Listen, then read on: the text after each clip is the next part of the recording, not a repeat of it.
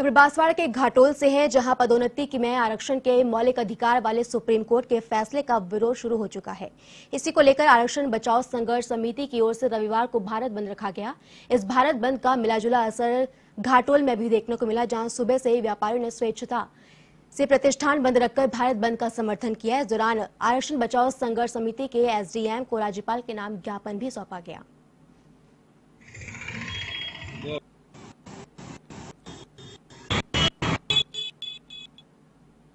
Promotion में आरक्षण मामले को लेकर चाकसू में भी बंद का असर देखने को मिला है। यहाँ